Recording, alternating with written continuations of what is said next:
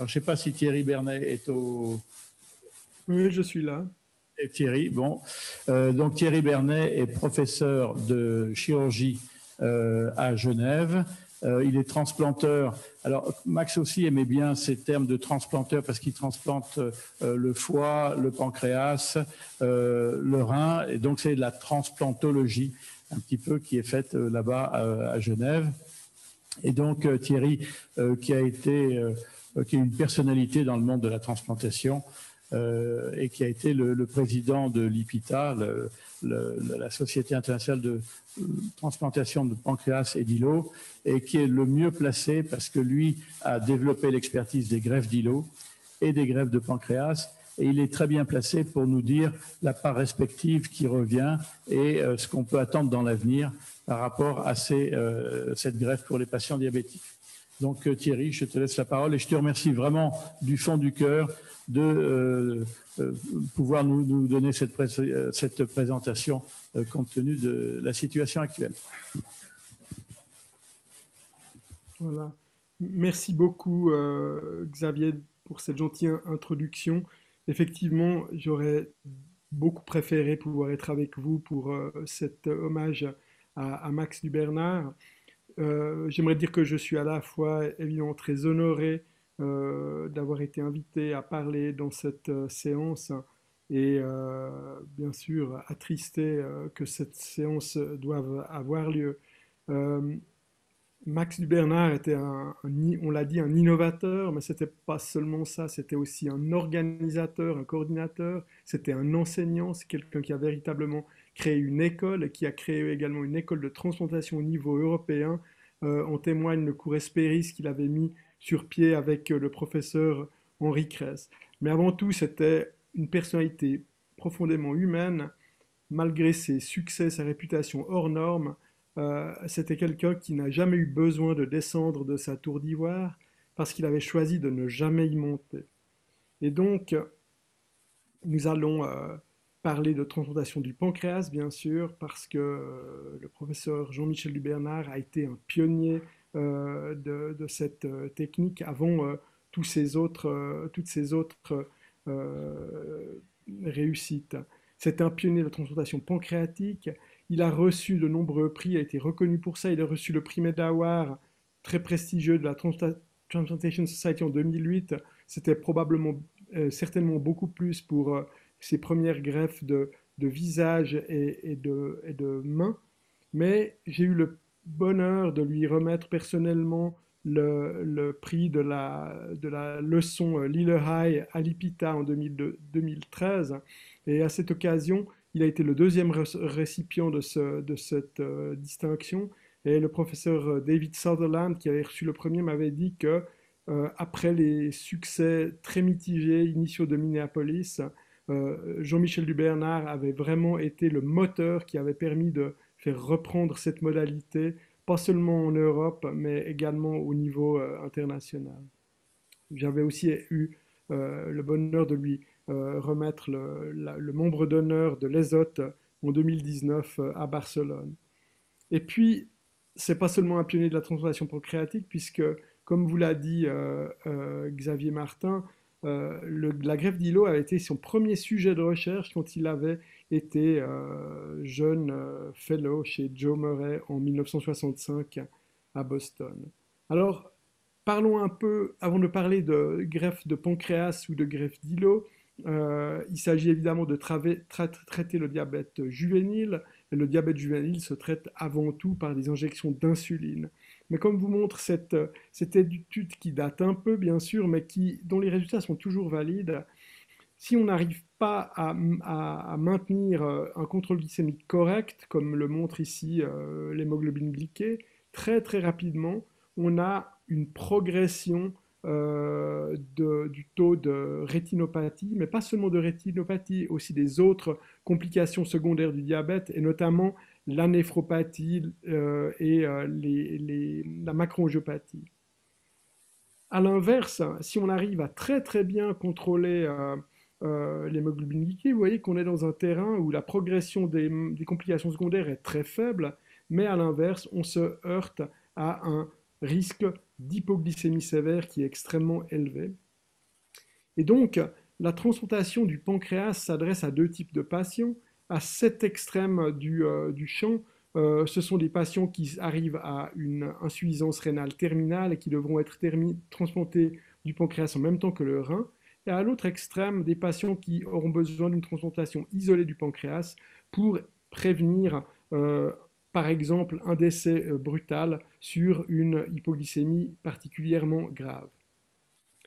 Alors, Voici ici la photo d'un premier innovateur qui est la première personne à avoir euh, transplanté du tissu pancréatique. Il s'agissait de Patrick Watson-Williams à Bristol. Imaginez-vous que c'était un chirurgien ORL en réalité et qu'il avait euh, traité euh, un jeune enfant en coma hyperosmolaire et qui était en train de mourir avec des extraits de pancréas de mouton qu'il avait prélevé euh, fraîchement. C'était une époque où on ne connaissait ni l'immunologie et ni même l'insuline, rappelez-vous. Et donc, euh, cet article est publié dans le British Medical Journal de 1894 et j'encourage vraiment sa, lecture si vous pouvez le, mettre la main dessus parce que c'est vraiment un langage dont on n'a plus l'habitude dans, les, euh, dans les publications scientifiques actuelles qui, est, qui tient à très autant à la littérature qu'à la, la science. Mais ce qui est intéressant, c'est qu'il écrivait à la fin que la possibilité de traiter le diabète pancréatique par le moyen de greffe de pancréas est certain de recevoir beaucoup plus d'attention dans le futur immédiat. Alors il s'était trompé que sur la notion de l'immédiateté, mais euh, la première greffe de pancréas a été réalisée à Minneapolis en 1966. Alors je ne résiste pas au plaisir de, vous montrer quelques images sur la technique de la greffe, non pas que ce soit le sujet le plus important, mais c'est parce que ce sont des images qui viennent euh, d'un article, d'un textbook de, technique chirurgicale que j'ai eu le, le, plaisir de rédiger avec Lionel Badet, qui est un des élèves euh, de, Max Dubernard. Et voici ici la préparation du greffon pancréatique avec la préparation artérielle, la séparation, euh, l'isolement d'un petit segment de duodénum pour les sécrétions, le drainage des sécrétions exocrines, et puis l'ablation de la rate. Et puis évidemment, quand on transplante le pancréas, on va transplanter une artère, ça c'est la partie qui est toujours la même, mais on a le drainage veineux et on peut choisir de faire un drainage veineux qu'on appelle systémique, c'est-à-dire de drainer la veine porte du greffon pancréatique sur la veine cave du receveur, ou alors un drainage portal plus physiologique qui euh, consiste à drainer la veine porte du greffon sur la veine mésentérique supérieure du euh, receveur. Et donc l'insuline va avoir l'effet de premier passage dans le foie que l'on n'a pas avec un drainage systémique. Il y a également le drainage exocrine qui doit se faire, et vous voyez que ce qui est fait le plus euh, souvent actuellement est un drainage qu'on appelle entérique, dans lequel le moignon duodénal du greffon pancréatique est cousu directement sur l'intestin du receveur, mais anciennement, et toujours fait dans quelques centres ou dans quelques indications, euh, on cousait le moignon duodénal sur la vessie. Ceci permettait de mesurer l'amylase dans l'urine et d'avoir euh, un dépistage précoce, pensait-on, d'un éventuel rejet qui était autrement difficile à dépister. Vous voyez que sur ces deux dessins, le rein est greffé euh, également, puisqu'il s'agit de transplantation simultanée du rein et du pancréas, qui est de loin l'indication la plus fréquente. Alors quels sont les résultats de la transplantation du pancréas? Voyez qu'elles dépendent du type de transplantation. Les meilleurs résultats sont obtenus pour la greffe de rein pancréas simultané avec à 5 ans 85% de greffons pancréatiques qui fonctionnent toujours. Euh, globalement, on est à 70%, et si on considère les pancréas seuls, on est plutôt à 50%, euh, probablement en raison de la plus grande difficulté de dépister le rejet quand on ne dispose pas du rein comme témoin. Voici ici l'impact de la greffe de pancréas sur la survie des patients, et vous voyez que si on laisse un patient en liste d'attente pour un rein pancréas, la survie à 10 ans est de 25%. Donc c'est quelque chose qui est extrêmement euh, euh, morbide. euh, le, diabétique de type 1 est, le patient qui a la plus grande mortalité en dialyse de toutes les indications à la dialyse. Et vous voyez que, par contre, après une greffe de rein-pancréas ou de pancréas après rein, pour les patients qui disposent d'un donneur vivant de rein, on a plutôt 75% de survie des patients à 10 ans. Donc ce sont des résultats qui sont excellents. Quels sont les développements, puisque nous sommes en train de parler d'un innovateur Les développements dans la greffe du pancréas, c'est le donneur vivant. Donneur vivant qui a été commencé à Minneapolis, bien sûr, mais également dans des pays euh, d'Asie comme le Japon ou la Corée, où le donneur en mort encéphalique est euh, extrêmement difficile à, trouver.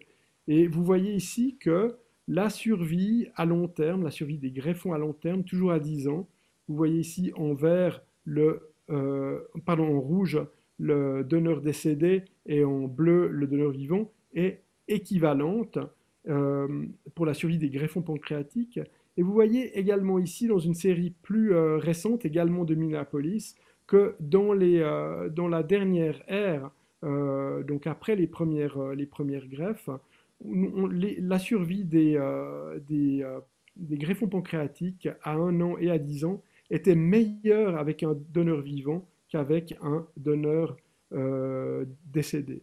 Et alors comment est-ce qu'on fait? C'est évidemment une greffe segmentaire puisqu'on est obligé de laisser la tête du pancréas chez le euh, donneur pour qu'il ne devienne pas diabétique lui-même. Et c'est une, euh, reconstruction pour le rein identique au donneur décédé.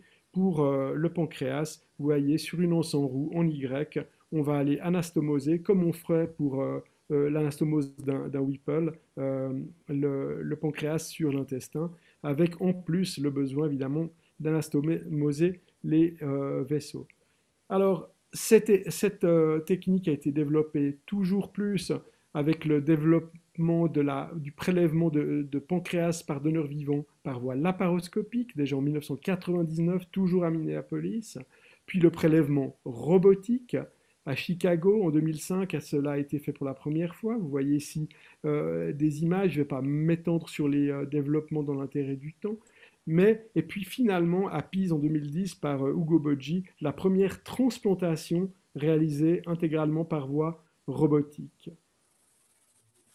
Mais peut-être que le développement et l'innovation ultime de la transplantation du pancréas est, comme la euh, évoqué Xavier Martin, en fait, la greffe d'îlot de Langerhans. C'est comme il l'a dit aussi, Max Dubernard adorait dire que la greffe de pancréas, c'était en fait une greffe d'îlot vascularisé.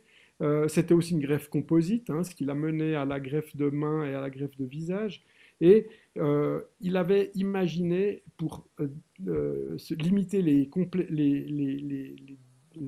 complications euh, liées aux fuites pancréatiques qu'on connaît bien euh, en cas de chirurgie du pancréas d'ailleurs, d'injecter euh, du néoprène, une résine dans le pancréas. Le pancréas exocrine se ratatinait et on n'avait plus qu'un pancréas endocrine vascularisé. Alors la première greffe d'îlot de Langerhans a été réalisée toujours à Minneapolis en 1974 chez l'homme en réalité. Alors comment est-ce qu'on fait maintenant en l'an 2000 20, l'isolement et la translation des îlots de Langerhans. Vous voyez ici euh, un schéma. Euh, la matière première, si j'ose dire, est toujours la même, c'est un donneur décédé dont on prélève le pancréas, mais au lieu de le greffer directement, on va le, préserver, l'amener euh, dans un circuit de digestion euh, où il va être soumis d'une part à une digestion enzymatique par de la collagénase, mais également à un choc mécanique, puisque cette chambre, qu'on appelle une chambre de Ricordi, va être secouée afin d'aider à la dissociation du tissu. À la fin de ce processus, on a un tissu, un digestat de pancréas qui contient des îlots, mais également euh, du tissu exocrine et, euh, qui est en petits morceaux et qu'il va falloir purifier. On le purifie sur une centrifugeuse, car, euh, sur un gradient de densité, car le tissu endocrine est en fait moins dense que le tissu exocrine, et ceci permet au terme de la centrifugation de récupérer euh, ce tissu, de le mettre en culture. On dit en culture, mais ce n'est pas vraiment une culture parce qu'on ne cultive rien du tout et les îlots ne poussent pas euh, en culture, mais ça permet de les maintenir, ça permet aussi de les transporter, comme je vais vous le montrer tout à l'heure, pour les greffer à un endroit qui serait à distance.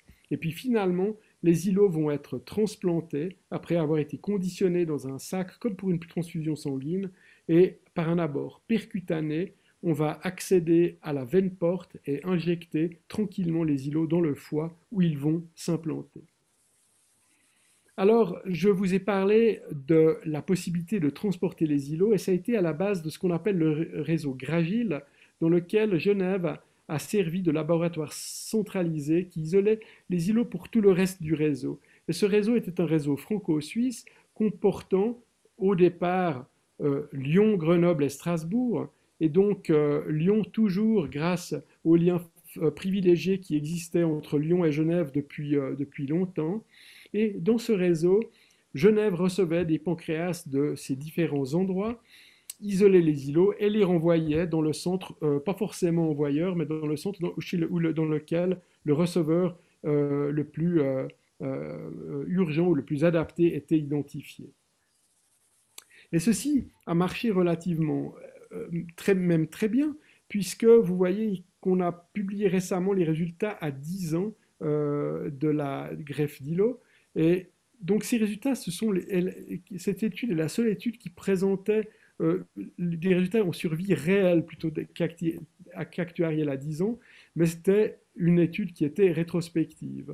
Mais vous voyez, avec l'intervalle de confiance ici, qu'on avait à peu près 60% euh, de fonction des, greffons euh, d'îlots à, à, 10 ans et que ceci était identique quand on comparait les îlots seuls, donc pour l'hypoglycémie grave, ou les îlots après rein, pour des patients qui avaient une insuffisance rénale terminale, un donneur vivant. Si on regarde un peu plus d'un peu plus près ces résultats, vous voyez qu'on arrive à maintenir une hémoglobine glyquée pas toujours forcément normale, mais assez basse à 10 ans. De même pour la glycémie à jeun. De même pour les besoins en insuline qui sont abaissés, mais vous voyez qu'ils ne sont pas euh, nuls chez euh, tous les receveurs et donc que la greffe d'îlot de Langerhans permet d'avoir un bon contrôle glycémique avec une fonction d'îlot, mais une fonction qu'on pourrait euh, caractériser de seulement partielle, puisque une bonne partie des patients doivent reprendre de l'insuline. Mais ce qui est surtout, remarquable, c'est le fait que sur une grande majorité des patients, plus de 80%, avec une petite diminution à, long terme pour les îlots après rein, on arrive à abolir les, les événements hypoglycémiques. Et puis ceci nous mène euh, au, à l'essai euh, Trimeco, qui était une étude franco-suisse multicentrique, donc qui incluait Gragil, mais aussi euh, le centre de Lille.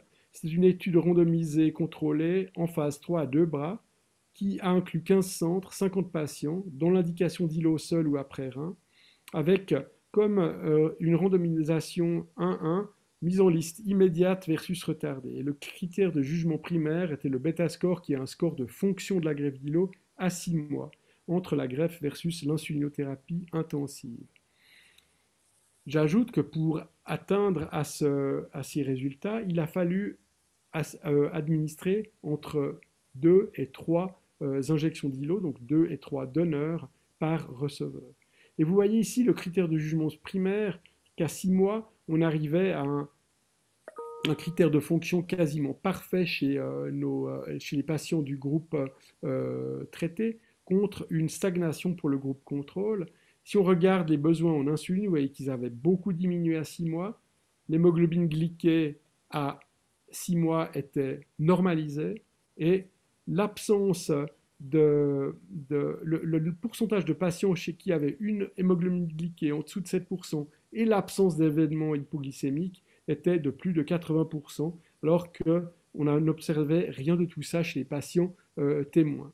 Et puis, on avait ensuite regardé comme critère de jugement secondaire à un an, euh, en prenant chaque patient comme son propre témoin, euh, la baisse d'hémoglobine glyquée, vous voyez qu'elle se normalise, la, proportion de, patients de nouveau avec une glycée normale et l'absence d'hypoglycémie qui est de 70%, et puis les besoins en insuline qui étaient nettement baissés, avec une insulino-indépendance à un an de 59%, donc des résultats qui sont fonctionnellement moins bons que ceux de la greffe de, pancréas, mais qui sont pour une procédure qui est globalement beaucoup moins invasive. Alors, les limites et les promesses de l'allotransplantation, quelles sont-elles? On a des très bons résultats. On a un excès de patients diabétiques de type 1 par rapport à un défaut de donneur. Et on a aussi la nécessité de l'immunosuppression. Donc on est actuellement dans un modèle dans lequel la transplantation de pancréas ou d'îlot allogénique permet le traitement d'une minorité de patients, alors qu'on aimerait pouvoir arriver à un modèle où on a une guérison pour tous. Et ce que j'aimerais argumenter, c'est que la greffe d'îlot est en fait un modèle pour la thérapie cellulaire du diabète du futur.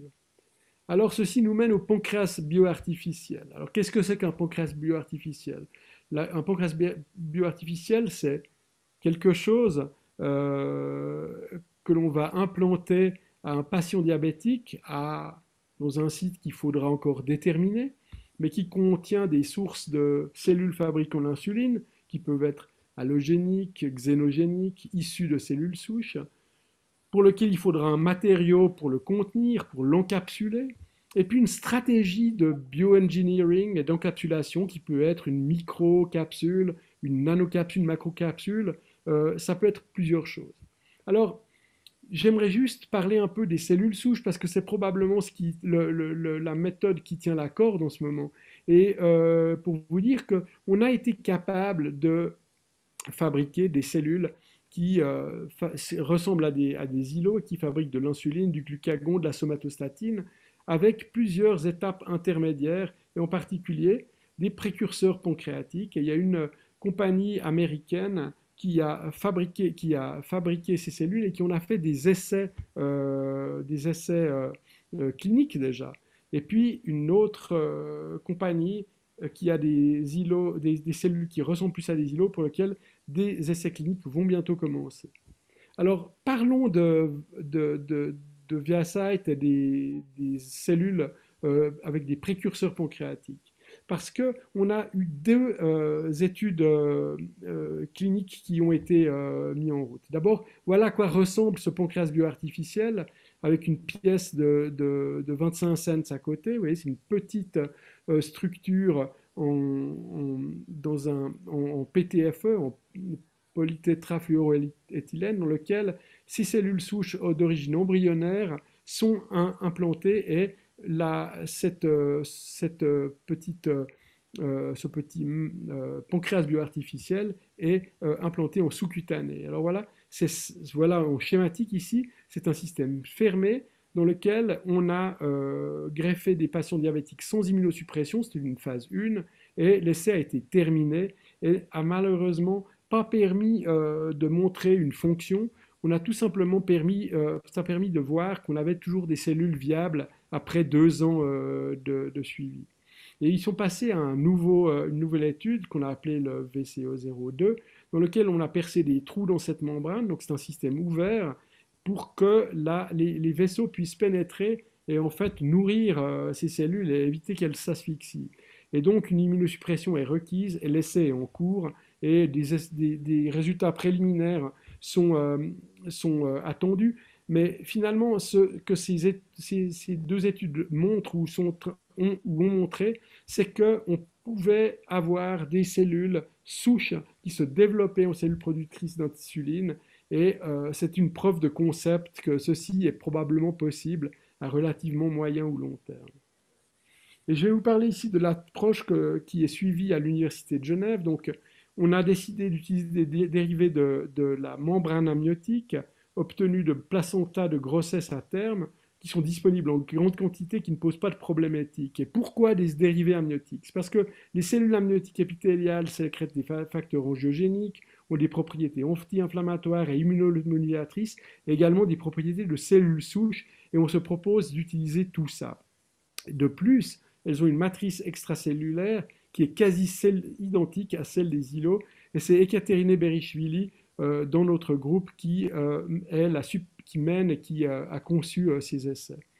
Alors donc, ce qu'on se propose de faire, c'est utiliser comme source de cellules B des organoïdes composés de cellules bêta et euh, de cellules amniotiques endothéliales, un matériau d'encapsulation qui est une membrane et qui est un hydrogel composé de isolé, donc, obtenu à partir de membranes amniotiques, et puis finalement une stratégie de macro-encapsulation qu'on va greffer probablement en sous-cutané ou dans, dans une poche épiploïque ou dans la cavité péritonéale. Alors, où en est-on euh, de ce projet qui a euh, obtenu un, soutien important de, la communauté européenne? Vous voyez ici les premiers organoïdes qui ont été faits. Et vous voyez que quand on les transplante à des souris diabétiques, on arrive, c'est la, courbe du bas, à normaliser la glycémie chez toutes ces souris. Et quand on enlève le, greffon, le, rein, puisque c'était greffé sous la capsule rénale, pouf, le diabète recommence. Et quand on compare ceci avec euh, des îlots natif, le résultat est moins bon. Et quand on compare ceci avec simplement les cellules euh, amniotiques, évidemment comme contrôle négatif, eh on n'a aucun effet.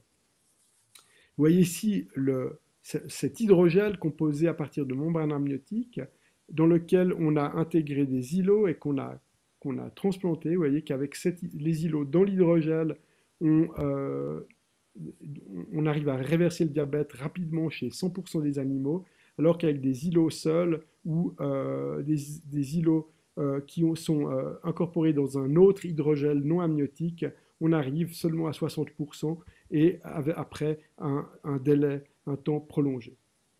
Alors voilà, voilà ce que nous sommes en train de faire. Alors évidemment, l'utopie est encore loin, mais l'utopie, c'est un, c'est un, c'est un terrain et un endroit avec lequel Max Dubernard a beaucoup joué et qu'il se, faisait un plaisir de tenter euh, d'atteindre. Et si tout ce que je vous ai présenté avant s'est réalisé, est en train de se réaliser ou pourra se réaliser bientôt, eh bien, on le devra en grande partie euh, à notre regretté Max. Et je vous remercie de votre attention et je suis prêt à prendre vos questions. Merci, merci beaucoup Thierry. Euh, le temps avance, on a le temps pour une ou deux questions. Est-ce qu'il y a des questions? euh, Moi, j'en aurais une. Euh, on, parle beaucoup du pancréas bioartificiel, de membrane, mais finalement, si on revient un peu en arrière, il y a le pancréas artificiel, c'est-à-dire le système uniquement mécanique, et est-ce que tu penses que les progrès qu'on a fait actuellement, on arrive presque à faire des pancréas artificiels maintenant avec les capteurs de glucose et avec les pompes à insuline? Euh, Qu'est-ce que tu en penses dans le, dans le cadre justement de ces, recherches? Alors c'est une, excellente question parce que c'est évidemment euh, un peu la compétition entre guillemets entre les deux, euh, en gardant à, l'esprit que ce qui compte c'est pas le, succès des équipes de recherche, mais le bien-être des patients, bien entendu. Alors, le, problème avec le pancréas euh, euh, artificiel, c'est que les algorithmes se sont nettement euh, améliorés, sont de plus en plus performants, mais on, a toujours, on arrive parfaitement bien à contrôler les phases de repos avec les algorithmes. Ce qu'on a beaucoup de plus de peine à, contrôler, c'est l'exercice et les repas. Et on a toujours des pics de glycémie ou, ou, des fois même des creux. On arrive mieux à contrôler l'hypoglycémie que l'hyperglycémie parce qu'on a des systèmes de sécurité, évidemment, pour l'hypoglycémie. Et je pense que la raison, c'est qu'en fait, le pancréas artificiel, ces pompes et capteurs, si vous voulez, on essaie de reproduire d'une façon, euh, par la technique, une cellule bêta.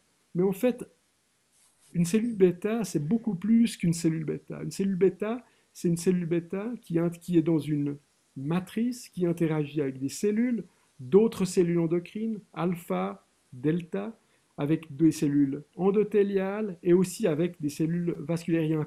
Crosstalk qui se fait continuellement avec tous ces types cellulaires et que je pense qu'on n'arrivera jamais à complètement reproduire avec euh, simplement euh, une pompe, de l'insuline, un capteur et un bon algorithme. Merci, merci beaucoup Thierry. Euh, s'il n'y a pas d'autres questions, je pense qu'on peut avancer dans le programme.